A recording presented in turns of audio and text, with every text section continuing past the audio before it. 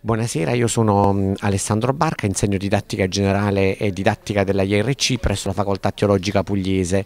Mm, oggi presentiamo questo testo bellissimo della professoressa Raffaella Conversano dove mm, il titolo ci dice tutto già, diversa agiabilità, questo intendere, questa nuova teoria pedagogica rivoluzionaria che mette al centro la persona diversamente abile spostando l'attenzione sul diversabile che oltre ad avere diverse abilità deve essere considerato considerato per le sue reali agilità.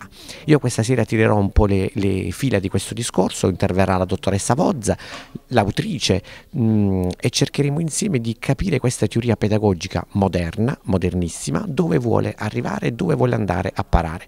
Io penso che la pedagogia contemporanea debba fare molta attenzione a questa riflessione perché può essere davvero una teoria innovativa, l'applicazione delle app, l'applicazione della tecnologia alla uh, diversabilità che non sposta il nuovo umanesimo integrale di una virgola. Oggi parliamo di nuovo umanesimo integrale. Che cos'è? Come si applica anche con l'ausilio delle tecnologie? Buonasera, io sono Cristina Vozza, dirigo una scuola dell'infanzia eh, paritaria e un asilo nido a Taranto. Eh, c'è un forte collegamento tra ciò che c'è scritto nel libro della dottoressa Conversano e quello che è il mio ruolo nella scuola, sia come dirigente che come insegnante.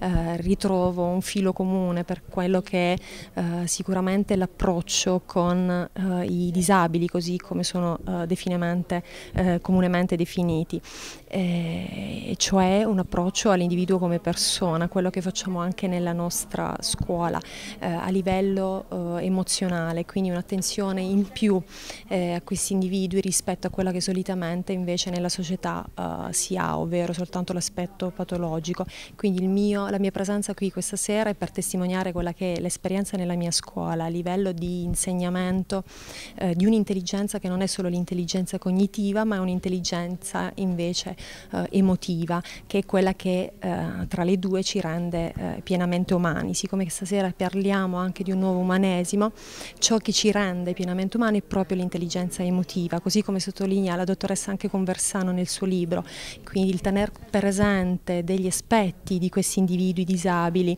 definiti da lei disagibili, eh, agibili e abili in maniera, anche se in maniera disturbata, quindi andare a vedere quali sono le, su, quali sono le loro eh, parti sane, le loro eh, potenzialità, quindi è su questo andare a lavorare, quindi è questo che stasera faremo. Grazie. Sono Chiara Do Lorenzo, eh, sono qui per supportare il lavoro di Raffaella, ma in realtà per presentare un lavoro che succede sullo stesso livello, ma attraverso un'altra forma di comunicazione che è la danza.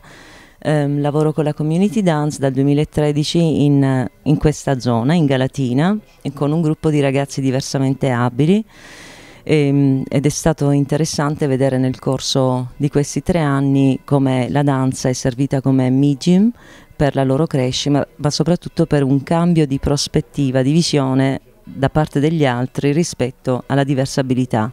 Quindi la diversabilità come risorsa, la, la diversità come punto di crescita, punto di incontro ehm, attraverso la danza. Il primo anno abbiamo organizzato un ehm, progetto, è un progetto solo ed esclusivamente per gli, i ragazzi diversamente abili. Quest'anno è un progetto inclusivo, cioè tutta la comunità coopererà per una settimana di laboratori intensivi alle officine Martinucci e verranno diversi artisti da tutta Europa che lavorano con la community dance e creeremo insieme nel corso di una settimana una coreografia che verrà presentata il 5 sempre alle officine. Quindi per noi il punto chiave è l'inclusione, ma non del diversamente abile nel sociale, ma del sociale nel diversamente abile. Quindi questa per noi, questa è la nostra filosofia, una filosofia che lo scambio attraverso un linguaggio che non è quello verbale può produrre solo che umanità e crescita. Il libro eh, nasce eh, dal desiderio di eh, riunire tutto, eh, tutti i vari step della mia ricerca, ricerca che nasce eh, nel campo della sperimentazione e della implementazione delle tecnologie dell'istruzione con eh, situazioni dal punto di vista clinico, sindromico, patologico di diversa abilità negli alunni. Eh, perché eh, questo titolo, Arginare la disagiabilità? Eh, perché ehm, ho preso la parola agi e l'ho inserita all'interno di una parola eh, che contiene una negazione, disabilità è eh, come squarciare una gabbia per rendere agibile comunque il pensiero verso l'ottica che noi abbiamo della persona. Come nasce questo libro ancora? Nasce eh, dalla implementazione di un pensiero pedagogico nuovo pensare la persona eh, dalla parte sana, analizzare ciò che è potenzialmente ancora valido, non educare o lavorare con la parte malata, perché quello attiene al clinico, alla parte medica.